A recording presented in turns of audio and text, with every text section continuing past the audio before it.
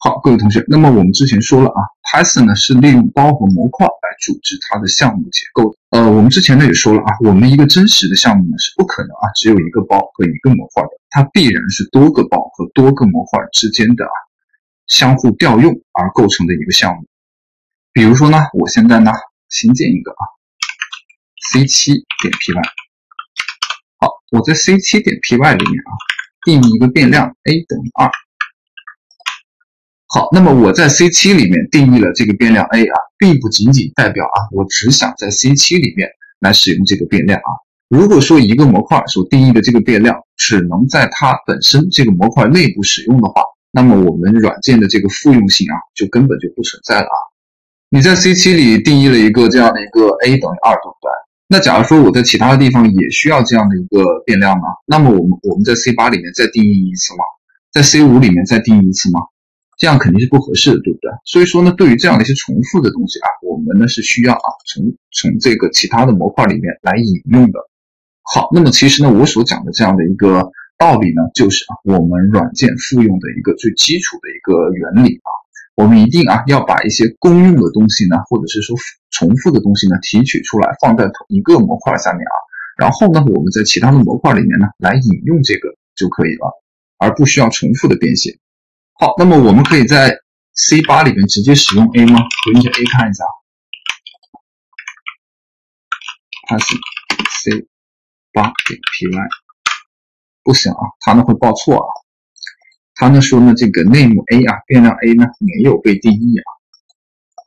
因为如果你不引用的话呢，这个变量 A 啊是不在 C8 里的啊，它在 C7 里。好，所以说呢我们呢需要啊。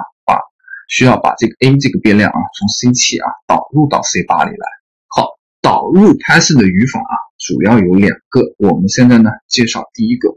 我们呢可以使用啊 Python 给大家提供的这样的一个 import 关键字啊，非常的形象啊，import 导入啊，来导入另外一个模块。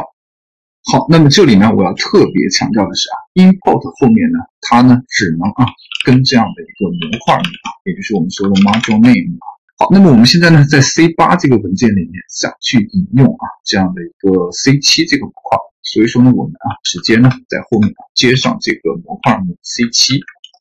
好就可以了。好，那么由于啊 C7 呢只是模块名，我们如果呢想使用 C7 下面的变量 A 呢，我们呢是需要啊通过模块名点某一个变量的方式啊来引来使用这样的一个 A 啊，否则的话呢，这个 A 呢是找不到的。所以说呢，引入模块下面的某一个变量啊，包括后面我们还可以看到啊，呃，除了引入变量之外呢，还可以啊去引入这个模块下面的函数啊等等啊其他的一些东西。那么引入的方式呢，和我们之前所讲的命名空间的路径呢是一样的啊，都是通过这个点号。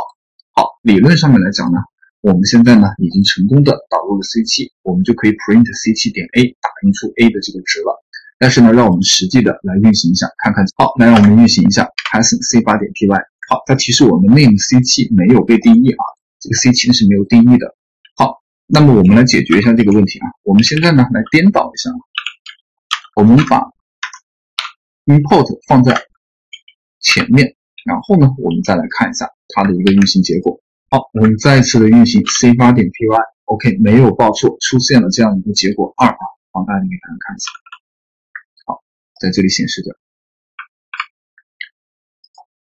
好，那么刚刚呢，我们的这个顺序的颠倒啊，其实呢，我想借助这样的一个事例呢，跟大家说一下啊，Python 呢，它是一个解释型的语言啊，所以说呢，当 Python 呢去运行代码的时候呢，它必须要遵守一个先后的顺序啊。如果呢，你在这个呃引入 C7 之前就去使用 C7 这个模块的话呢，这个。我们的 Python 的解释器呢是会报错的啊，因为呢，当解析到这一行的时候呢，哎，Python 的解释器呢还不知道 C7 是什么，对不对？所以说呢，它会报错啊。这个呢是并不是说 Python 是这样的啊，很多的这种解释型的语言呢都是这样的一个规则啊。但是呢，对于呃有一些编译型的语言来说的话呢，确它它呢确实可以啊，让你先使用啊后定义啊。但是总体上面啊，我个人还是认为啊。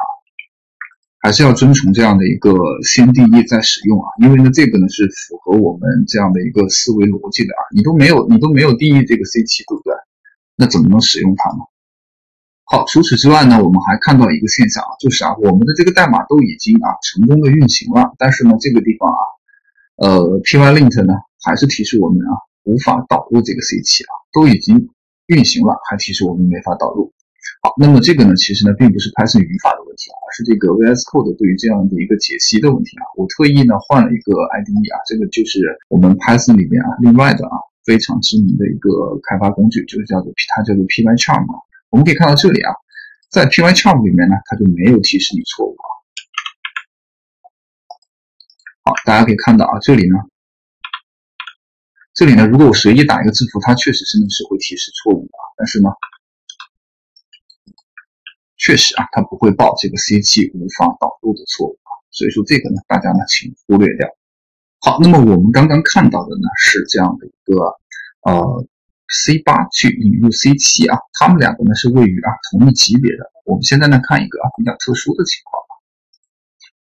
好，假如说呢我在这里呢加入一个文件，加入一个文件夹 T 啊，然后呢我们把 C7 啊把它放到 T 这个下面来。这个时候呢，我们再运行一下 C 八点 py 啊，看一下。好，这里呢是会报错的啊。那么此时呢，如何来解决这个问题呢？解决的问题的方式呢，还是我所说的啊，命名空间的方式啊。import 的时候呢，需要啊 import t 点 c 七啊，因为呢这个 c 七现在呢是位于啊这个 t 这个包下面的啊，所以说呢这个地方需要带上它的命名空间。好，相应的 print 呢。我们也需要啊，使用 t 点 c 七点 a，OK，然后呢，我们再执行一下，好，它有成功的啊，执行了，并且呢，打印出了结果啊，好，所以说呢，大家呢就可以啊推想到啊，我们呢，如果呢，我们的这个 c 七呢，它呢还在 t 下面的子子包里面啊，甚至呢是子子包里面啊，那么大家呢一定啊要记住啊，要加上它的一个命名空间。好，然后呢，我们可以看到啊，我刚刚呢在这里运行之后啊，我们的这个目录下面呢，自动的生成了一个啊，这里啊，放大一点，自动的生成了一个下划线双下划线 pycatch 这样的一个目录。然后这个目录呢是由啊我们 Python 解释器自动生成的。然后呢，我们可以看到啊，在这个里面呢是有这样的一个点 pyc 文件啊。然后我们打开了之后呢，它提示我们啊。啊，这个呢，它是一个二进制的，所以说呢，我们无法在 VS Code 里面预览。好，那么这个点 pyc 文件是什么呢？这个点 pyc 文件呢，就是我们 Python 的解释器啊，它所编译的一个字节码文件啊。好，那么这里呢，不对这个点 pyc 字节码文件呢，呃，做过多的解释啊，只是呢，希望大家呢，不要对于这个自动生成的东西呢，感觉到奇怪啊。点 pyc 文件呢，是可以提升啊 Python 的这样的一个程序的执行呃运行效率的。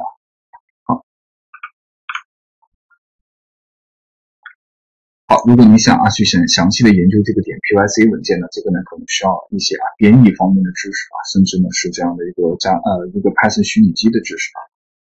好，那么这里呢我们对这个 import 啊做一个总结啊，首先一点呢是大家要明白的啊，import 导入的总是一个啊模块啊，我们呢是不能够啊在 import 下面啊直接导入模块下面的变量的啊，这样呢是不行的啊，这一点是大家要注意的。好，那么由于啊 import 呢，只能够导入模块啊，所以说呢，当我们啊要引入模块的变量名的时候呢，就需要啊用模块名点变量名的方式来引用啊，这个呢是很多人认为 import 的一个缺陷啊，它呢会让你的这个代码的长度呢会有所有所增加啊。假如说呢你的这个包的嵌套呢是比较复杂的啊，比如说呢有五六层的话，那么这个地方的引用起来呢确实呢是比较麻烦。好，那么呢，我这里呢跟大家说一个比较简单的啊，可以简化这个路径的一个方法啊，就是呢用 a 的这个关键字啊，import t 点 c 七，然后 a 是什么呢？我们呢可以啊把它 a 的一个随便起一个啊标识符啊，我们暂时呢交给 m 啊。好，这个时候呢你在引入这个 a 变量的时候呢，就不需要啊打很长的这样的一段呃字符路径了啊，你呢只需要使用 m 点 a 啊就可以了。好，然后我们看一下啊，到底可不可以啊？Python 点 C 八可以啊，它依然打印的是这样的一个二啊。所以说呢，这个二字关键字啊，可以啊，把你的这样的一个很长的一个命名空间呢，简化成一个字符啊，或者说呢，是一个呃标识符啊。但是呢，import 呢，你无论再怎么简化啊，还是要有一个点的过程啊。比如说你把三到四个点所组合的一个一个命名空间呢，简化成了一个啊，简化成了一个标识。但是呢，最终呢，你还是需要有一个标识再来点这个变量的啊。好，那么 import 呢，确实呢是有这样的一个问题啊，就是呢你需要多写一些呃这样的一个命名空间。但是呢，它也有它的好处啊，好处是在什么地方呢？好处就在于啊，我们取消。t 点 c 七，好，好处呢还是在于啊，你一眼就可以啊看到这个 a 变量到底是属于哪个包下面的哪个模块的啊，这个呢是它的一个优势。好，各位同学，那么关于啊 import 的这样一种导入方式呢，我们就先介绍到这里。那么下节课呢，我们呢会再讲啊 Python 导入的另外的一个语法啊。呃，另外的另外的一种语法呢，是可以避免啊这样的一个引入的时候啊命名空间过长的问题。好，同学们，那么我们本节课的内容呢，就先讲到这里，我们下节课再见。